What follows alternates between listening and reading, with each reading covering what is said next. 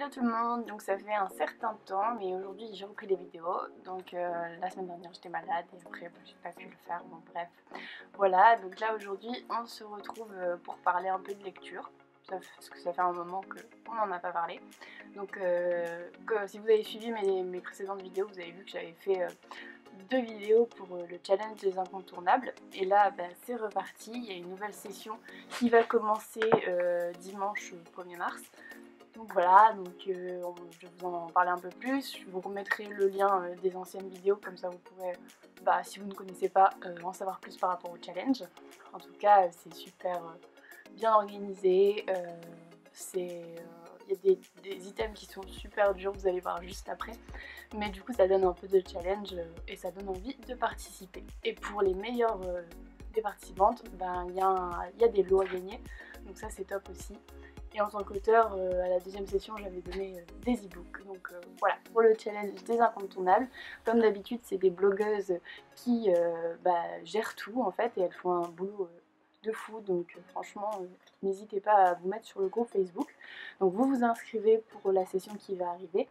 Et euh, bah, tout simplement, vous lisez. En fait, vous donnez un, objectif de livre. Par exemple, pendant ces trois mois, euh, j'aimerais lire 10 euh, livres, 20 livres. Après, c'est vous qui choisissez. Si vous remplissez cet objectif-là, vous avez des points. Mais vous avez des points à chaque lecture, en fait. Donc, par exemple, pour un roman, un roman, vous avez 10 points pour euh, deux, petits romans de 50 pages, donc par exemple les romans jeunesse, etc., qui sont très courts, et ben vous avez 5 euh, points. Et pour euh, les mangas, vous avez 5 points également. Donc manga BD, hein, bien sûr.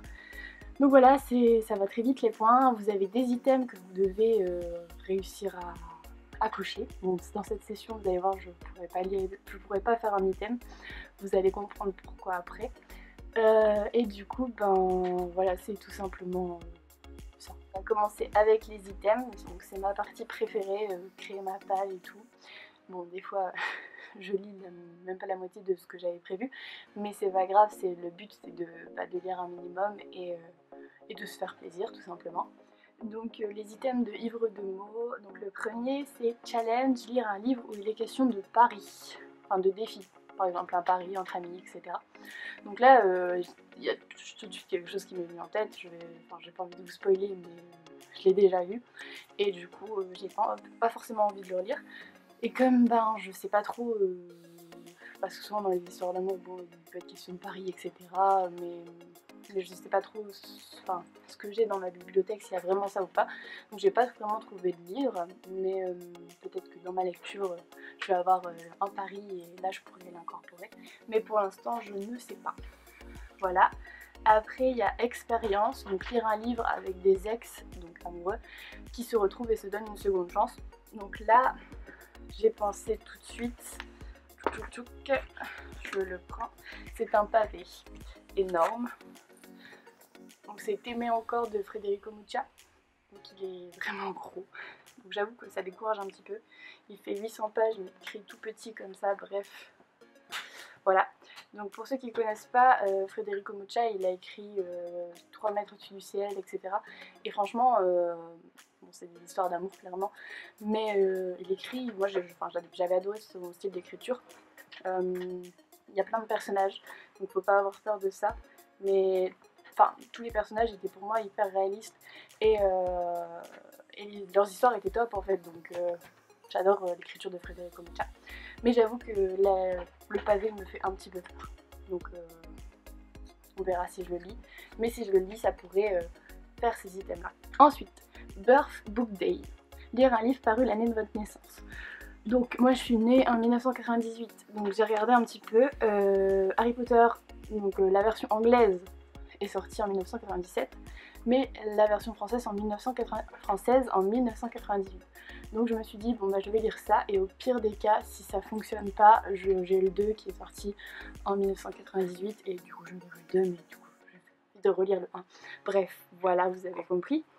Et j'ai aussi cette édition là qui est magnifique mais euh, je ne la lis pas, c'est complètement débile mais j'ai pas envie de la lire donc voilà donc ça ce sera Harry Potter un ou deux, on verra en fonction de, ce qui fonctionne. Euh, ensuite, Oh My Bad, lire un livre qui a de mauvaises critiques. Donc ça peut être discuté hein, parce que moi j'ai vu pas mal de mauvaises critiques sur La vie secrète des écrivains. Donc Guillaume Musso, bah, ça reste un de mes auteurs chouchous. Et je sais qu'il est pas mal critiqué parce que, voilà, bon, bah, il est critiqué. Moi, j'adore son, écriture et j'aime beaucoup ses, histoires.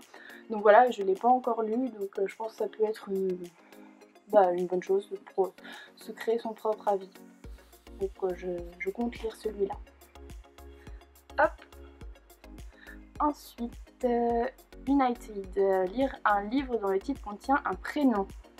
Alors là directement, j'ai pas hésité une seconde. Le journal d'Aurélie la femme.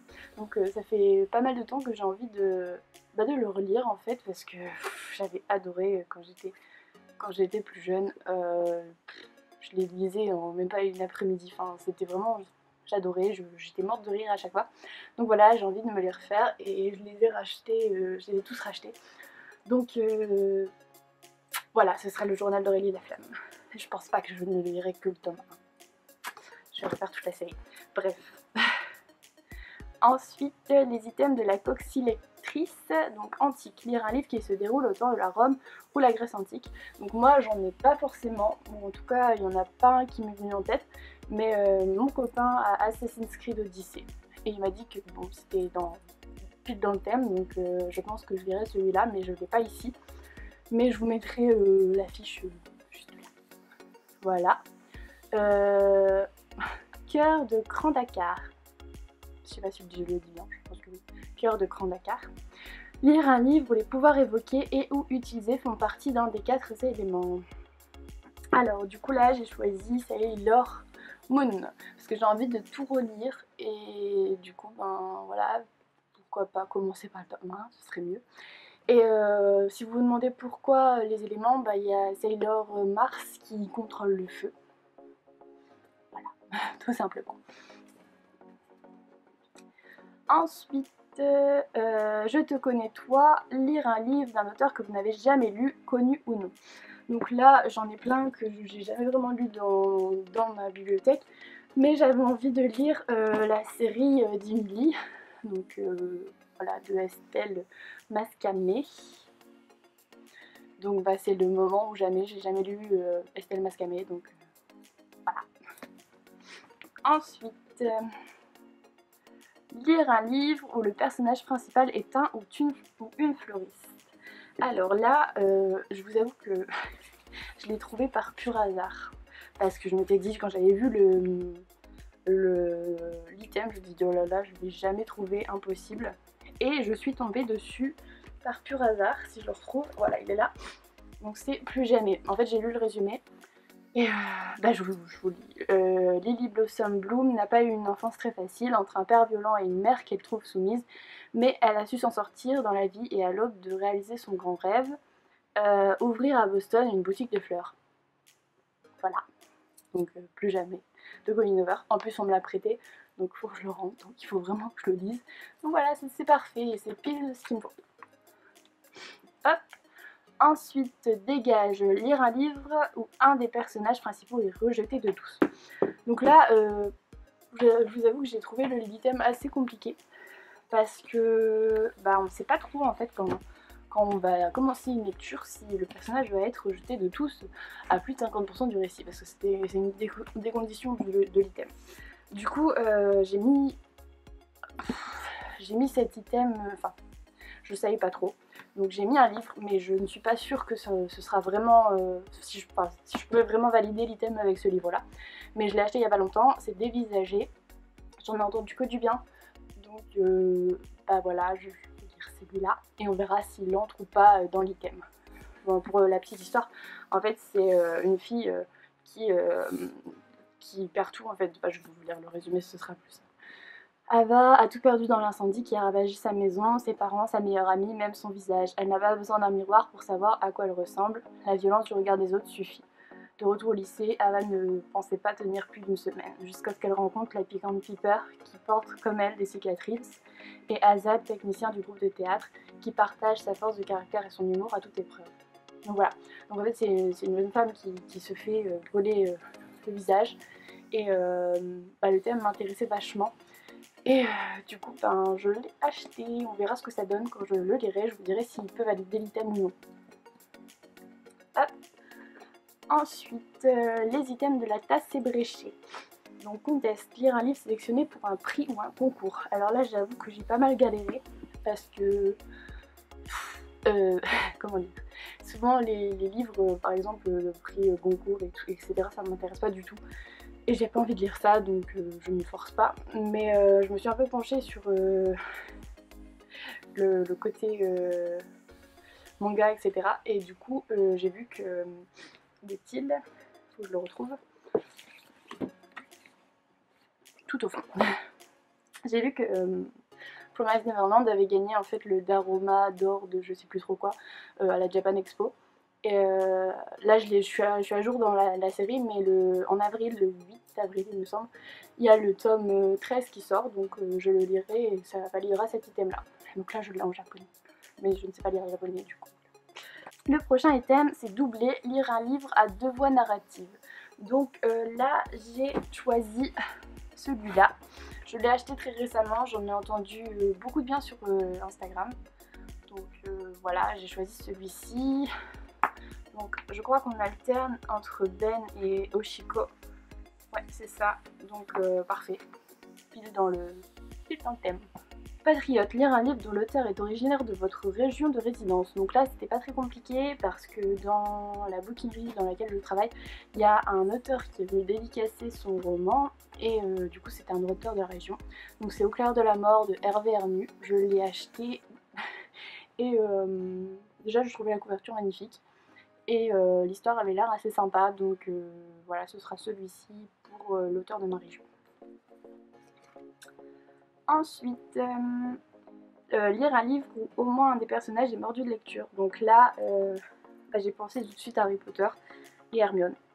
Voilà, donc ce sera celui-ci, Harry Potter. C'est... En vrai, Harry Potter pouvait aller dans pas mal de catégories, j'ai trouvé. Donc, on peut en choisir que deux par livre, donc voilà, ce sera celui-là. Hop Ensuite, c'est la fête. Lire un livre où il y a une soirée festive, bal, bar, discothèque, soirée chez des amis, soirée de mariage, soirée d'anniversaire. Donc là, pareil, ben, pour l'instant, je sais pas trop. Euh, j'avoue qu'il n'y a pas trop de livres qui m'ont fait tilt comme ça, mais peut-être qu'en lisant l'histoire, bah, il y aura une histoire de fête, d'anniversaire, etc. Donc euh, on verra ça. Pour l'instant, j'ai pas de, de, livre à vous proposer, mais euh, ça, évolue, ça évoluera certainement.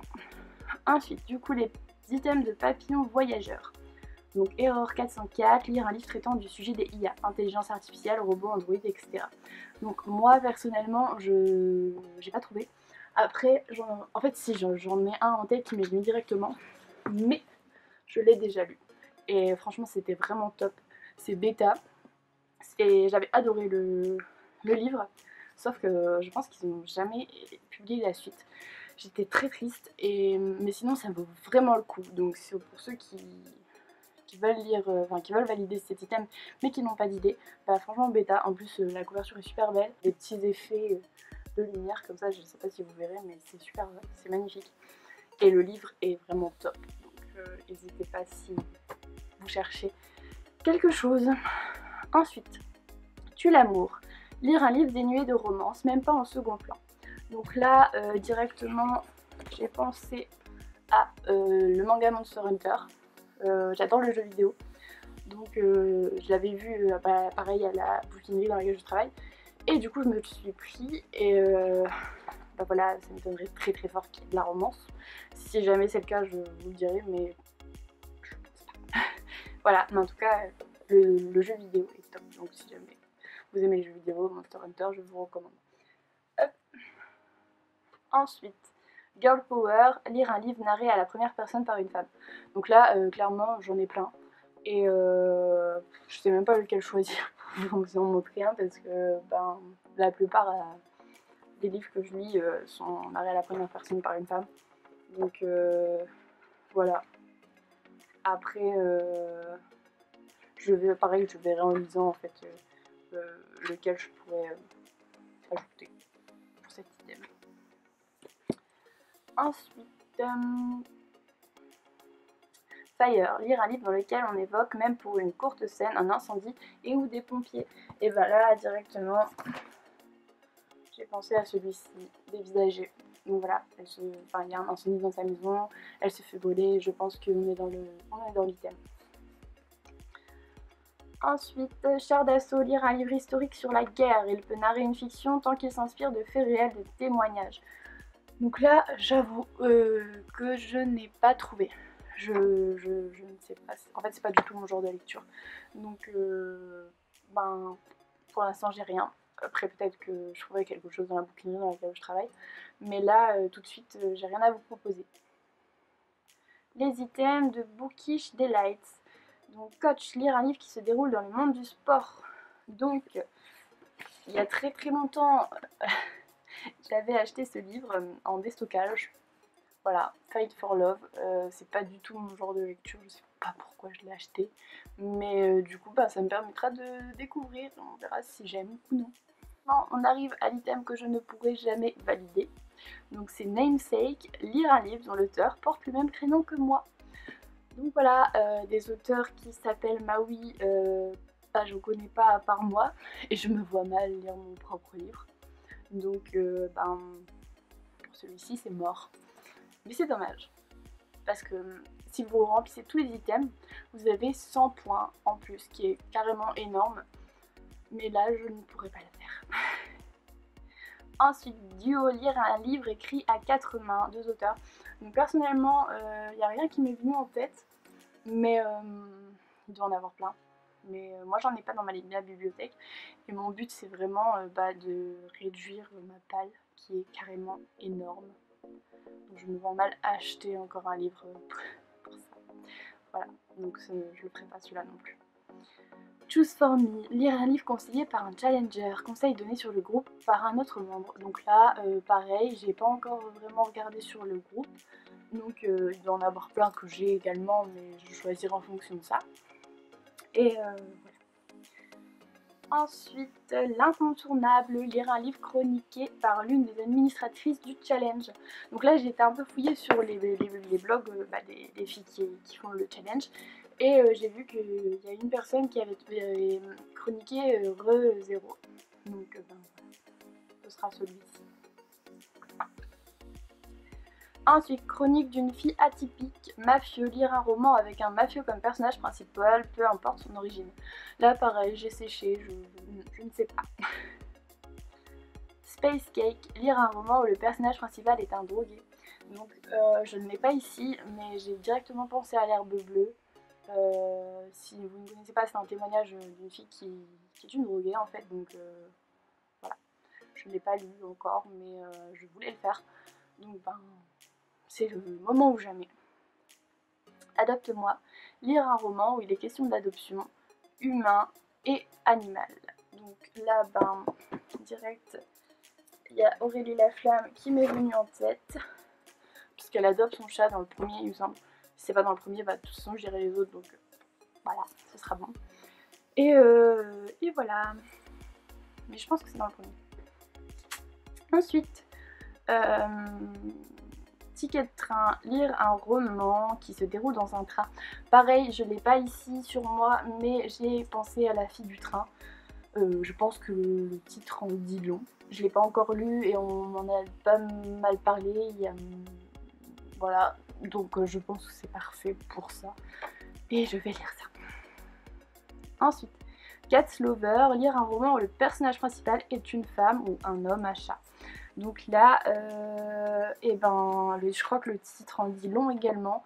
C'est le manga euh, La fille au temple au chat. J'avais déjà lu, j'avais déjà dit que je le lirais dans un ancien, une ancienne vidéo, mais j'ai toujours pas eu le temps. Donc cette fois c'est la bonne, on y croit. Ensuite, les items de Loup des Bois, On the Road, lire une histoire où les personnages font un road trip. Pareil, je n'ai pas trouvé, mais euh, voilà, là franchement, j'avoue que j'ai séché aussi. J'en ai déjà vu passer euh, à la bouquinerie dans laquelle je travaille, mais j'avoue que ça me tente pas trop. Donc, euh, pour l'instant, je n'ai pas trouvé. Feel Good, lire une histoire qui est une comédie aimée de bonne humeur. Donc là, j'ai pensé à Contrat avec un geek. Donc j'ai acheté ce livre, en fait j'ai fait un salon la semaine non, la semaine encore d'avant, et j'ai rencontré une auteure super sympa qui, a écrit ça. Je trouvais le thème vachement original parce que j'ai jamais vu une romance geek et ça m'a ça a piqué ma curiosité. Du coup on va choisir celui-ci. Et pour le nom de l'auteur c'est Chani Brooks. Je vous conseille d'aller voir sa page Facebook, euh, elle est super sympa. Alors, ensuite, écris-moi. Lire un roman avec des échanges épistolaires ou échanges mail-texte directement écrits dans le livre. Alors, là, j'ai trouvé à la place du cœur. Donc euh, voilà, il y a pas mal de, de petits textos qui sont échangés comme ça. Donc euh, je pense qu'on est dans le thème. Hop Soit mon étoile, lire un roman où le personnage principal devient ou est une étoile montante star. Donc là, je pour l'instant j'ai pas d'idée. Il doit en avoir plein, mais il n'y a rien qui me vient en tête tout de suite. Donc euh, ben, pour l'instant j'ai pas, pas mis de livre, mais euh, j'en trouverai bien par la suite. Be Yourself. Donc lire un livre sans que le ou les personnages principaux soient des personnages torturés par un passé sombre. Donc là, j'avoue que c'était un item assez compliqué. Euh, à première vue, ben, on, se dit ouais, non, c'est pas aller, mais quand on réfléchit bien, tous les, tous les personnages ont un peu un passé sombre, je trouve, ou au moins un personnage a un passé sombre. Euh, par exemple, vous dites ah bah Harry Potter, bah non, en fait ça fonctionne pas parce que Harry il a carrément un passé sombre. Voilà, et quand on réfléchit bien, il y a pas mal de livres comme ça. Et du coup, je me suis dit, bah vas-y, Sailor Moon, euh, pas de passé sombre, ça va, tout, va bien pour Sailor Moon. voilà, et on en arrive à l'item bonus, donc Challenger, lire un livre avec des créatures surnaturelles, vampires, loups-garous, sorcières. Voilà, j'en ai, j'en ai plein, c'est pareil. Euh, j'ai euh, Vampire Knight en, manga. après, j'en ai tellement plein que je saurais pas vous en dire d'autres. Après il y a Harry Potter, sorcier, enfin voilà, ça c'est vraiment pas compliqué comme item. Et euh, voilà. Donc euh, si ça vous a plu, là on a fini avec les items de livres. Vous avez vu un peu ce que je compte lire pendant ces trois premiers mois, enfin ces trois prochains mois. Euh, donc le challenge il commence le 1er mars, donc le jour où la vidéo va sortir. Et euh, il se termine le 1er juin, donc euh, ça vous fait euh, quand même pas mal de temps pour lire.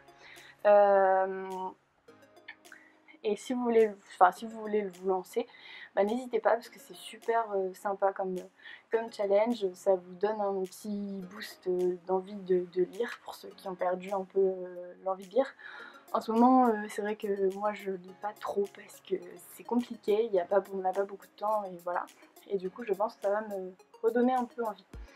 Donc c'est le principal, c'est le but et euh, on s'amuse parce qu'il y a une super communauté. Donc euh, si vous voulez nous rejoindre, ben, je vous mettrai le lien Facebook du groupe et voilà. Et euh, du coup, ben, là la vidéo se termine. Ben, je vous remercie d'être là, de regarder la vidéo, vidéo et je vous dis à bientôt pour une nouvelle vidéo. Salut